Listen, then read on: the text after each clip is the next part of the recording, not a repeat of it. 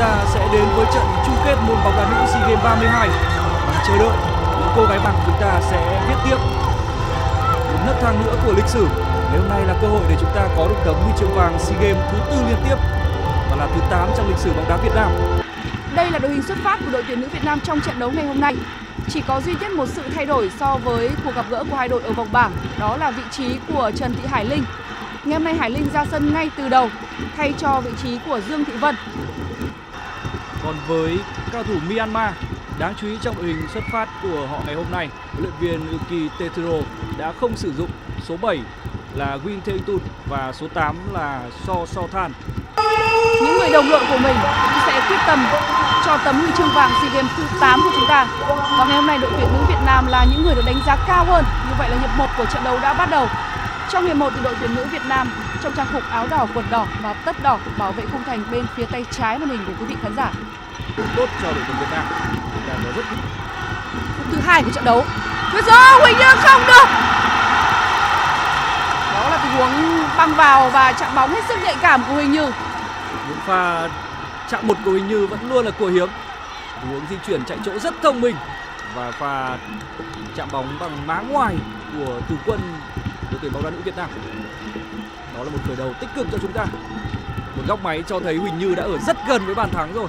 Số 12 Yuko Kim của mình đang có những bước chạy rất mạnh mẽ chúng ta phải ra chừng. Yuko Kim là cầu thủ không thi đấu khi hai đội gặp nhau ở vòng bảng. Nhưng bắt đầu từ trận bán kết thì Hoàng Thị Loan, một cầu vệ có khả năng đấu một một rất tốt, cũng đã bị cầu thủ bên phía Myanmar bỏ lại.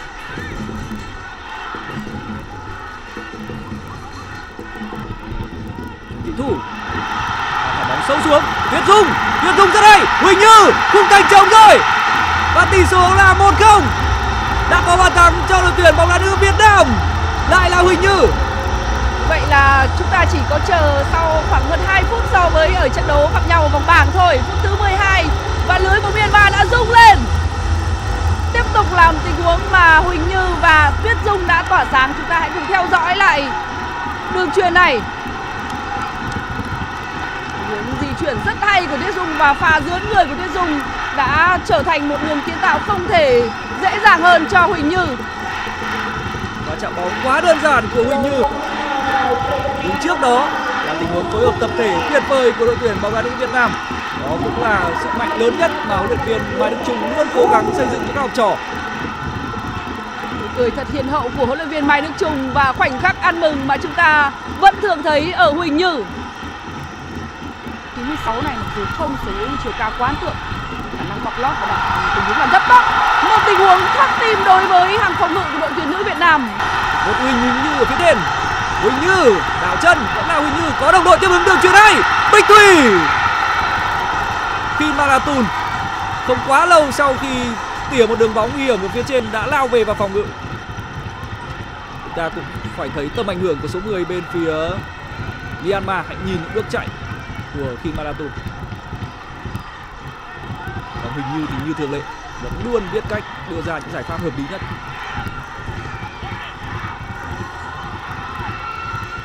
Hạn chế treo bóng rất khó chịu. Rồi! Đây là thời cơ bóng ở trước cửa khung thành. Không có cú sút. Và ra vào không tốt của thủ môn về phía Myanmar. Với một cầu thủ lần đầu lên tuyển và tham dự một giải đấu lớn thì có thể nói Thúy Nga đã hòa nhập rất nhanh. Hơi tiếc là Bích Thùy có lẽ cũng bất ngờ khi mà thủ môn đội bạn đã hụt.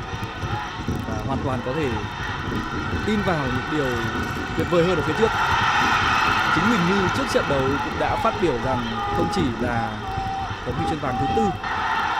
Đây có thể là cơ hội cho Myanmar. Chúng ta cần dè chừng cú sút.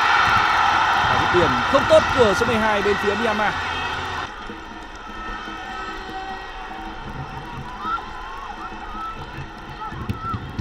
Hàng thủ của đội tuyển bóng đá nữ Việt Nam vẫn cần hết sức tập trung. Lần này sẽ là Bích Thủy. Số bóng bằng cắt đánh đầu. Tuyến hai cú sút ngay. Đó là một pha ra chân hợp lý của Thái Thị Thảo quãng thời gian tỏa sáng trong các giải trẻ của bóng đá nữ Việt Nam. Cũng không có gì nguy hiểm cho khung thành và Kim Thanh. rất cố gắng, vẫn là Tuyết Dung. Tuyệt vời Tuyết Dung, đây là Huỳnh Như. Huỳnh Như, Bích Thùy đang băng lên, nhưng vẫn là Huỳnh Như, chân trái. Đá hơi nhẹ. Một lần nữa chúng ta thấy được sự kết nối tuyệt vời giữa Tuyết Dung và Huỳnh Như hướng tấn công bên cánh trái đang làm hướng tấn công cực kỳ lợi hại của đội tuyển nữ Việt Nam. Vẫn là những tình huống xử lý kỹ thuật của Huỳnh Như. Góc sút là hơi hẹp và cơ hội là không nhiều cho Huỳnh Như. Ở cú sút này. Rủi ro. Huỳnh Như! Rồi Thái Thị Thảo! Đây là pha đi bóng rất hay ở góc biên của Huỳnh Như là pha dứt điểm. Không được như ý của Thái Thị Thảo. Đội viên Mai Đức Trung. Màn hình thì có vẻ như huấn luyện viên Mai Đức Trung nói là tiếc quá phải tập trung vào. Chúng ta cần chắc chiêu mọi cơ hội có được. Thì cách biệt lúc này chỉ là một bàn mà thôi. Và đây là trận chung kết. Chúng ta đã thấy những giọt nước mắt. Chúng ta thực sự đã có một trận đấu đầy nỗ lực đáp lại niềm tin của luyện viên Mai Đức Trung một trung vệ dọc rất hiệu quả. Một đường bóng dài nguy hiểm. Kim Thành đã tỉnh táo.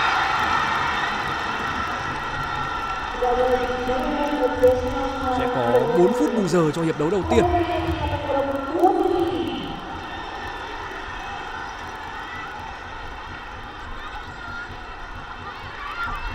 Phật bóng hơi sâu một chút của cầu thủ bên phía Myanmar. Nhiều cơ hội để khung thành và chỉ vì cơ hội từ những tình huống sút xa đó là tình huống mà Thái Thị Thảo đã thoát xuống rất nhanh. Rất tiếc là tiền vệ của chúng ta đã việt vị. Pha bóng khá nhạy cảm trong bàn thắng của đội tuyển bóng đá nữ Việt Nam. Đột phá cú sút đó, huống mà Đức Thùy đã quyết định đẩy bóng vào trung lộ và thực hiện một cú sửa lòng Nhưng trái bóng đi chưa đủ hiểm hóc để có thể đánh bại được Mia Mia Nhi và Bích Thùy, hình Như và Tuyết Dung hoán chuyển vị trí cho nhau rất liên hóa. là mũi trong của Bích Thùy là người có độ am tường và những chiến thuật rất tốt. Và tạt bóng, đánh đầu, khá nguy hiểm. Tình huống bóng tổng sẽ là điều chúng ta phải giải trình Diễm My không phải là người có thể hình tốt. Và sẽ gặp rất nhiều khó khăn trong những tình huống tương tự như thế này. Trong số 3 trung vệ của đội tuyển nữ Việt Nam thì chỉ đã ghi bàn và lưới liền bàn. đây là một tình huống rất nguy hiểm của đội bạn. Hoan hô Diễm My. Đó là pha thoát xuống của Win Thanh Tun và những phương án sút xa là sự lựa chọn duy nhất vào lúc này rất khó để có thể ăn bàn với những cú đá như vậy. giúp cho các đồng đội đây là một quả trái bóng nguy hiểm của Myanmar vẫn là Kim Malatun Và bóng hiếm hoi mà chúng ta thấy số 10 của Myanmar đặt chân vào trong vòng cấm địa của đội tuyển bóng đá nữ Việt Nam. Ngay lập tức sóng gió đã nổi lên. Đầu trong tư thế hơi với của Kim Marathon Thì rõ ràng những pha bóng bổng là điều chúng ta vẫn phải dè chừng. Zonet và có thêm một bàn thắng nữa.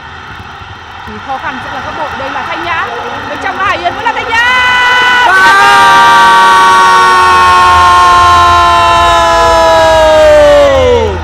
Thanh Nhã khoảnh khắc thăng hoa của Thanh Nhã đây là lần thứ hai liên tiếp Thanh Nhã đã có bàn thắng vào lưới của Myanmar nhưng lần này bàn thắng ấy quan trọng hơn một cú đá cũng rất giống với pha dứt điểm của Thùy Trang ở vòng bảng. Nhưng thực sự là góc đá này còn khó hơn. Và đây là bàn thắng in đậm dấu ấn cá nhân của Thanh Nhã. Một mình Thanh Nhã tranh cướp giữa hai cầu thủ Myanmar lấy được bóng. Và cú đá quá đẹp. Tuyệt vời Thanh Nhã. Bàn thắng đầy kỹ thuật của Thanh Nhã. Bóng đi liệng và xoáy khiến cho thủ thành Miyamiani đã không thể kiểm soát được. Một đường cong hoàn hảo và nó khiến cho cảm xúc của huấn luyện viên Mai Đức Trung trở nên tuyệt vời hơn. Niềm vui của ban huấn luyện cùng với đội tuyển nữ Việt Nam 2-0 một trong những cầu thủ trẻ được huấn luyện viên Mai Đức Chung chăm bẵm và kỳ vọng nhiều nhất. Và đang chờ đợi bàn thắng đầu tiên của Tuyết Dung. Nếu điều đó xảy ra sẽ là hoàn hảo cú sút xa. Và ra chân rất tự tin của Phạm Hải Yến. Chơi rất thoải mái một pha ra chân có phần hào phóng của Hải Yến trong một thế trận quá thuận lợi cho đội tuyển bóng đá nữ Việt Nam. Và treo bóng của Myanmar, quá đơn giản với Kim Thành. Thậm chí cầu thủ Myanmar đang liên tục có những pha ham bóng nguy hiểm trong những phút cuối cùng. Đó là biểu hiện của sự bất lực Kim Thành bị đau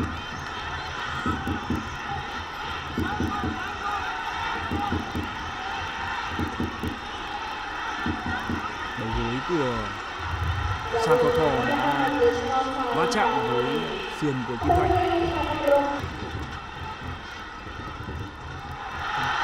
Hải Yến. Một mình Hải Yến đang có mặt trong khu vực 16 m 50 quyết định dứt điểm là chính xác Hải Yến đã quyết định xử lý ngay khi không chờ đồng đội băng lên. Cú ra chân hoàn toàn chấp nhận được chúng ta vừa có cơ hội để thêm vào chiếc vương miện của mình một viên kim. Khi Maratun đã phát góc và Kim Thành bắt gọn bóng. Đó là dấu chấm hết cho những nỗ lực ít ỏi còn lại của đội tuyển Myanmar. Và lúc này chúng ta hãy cùng nhau đếm ngược để chờ đợi khoảnh khắc mà trọng tài nổi còi kết thúc trận đấu. Và hết hết giờ tấm huy chương vàng SEA Games thứ 8 đã gọi tên đội tuyển nữ Việt Nam niềm vui của Thanh Nhã niềm Nguyễn Thị Thảo và niềm vui của triệu triệu người hâm mộ Việt Nam. Số 8 là một số quá đẹp phải không những Quốc Việt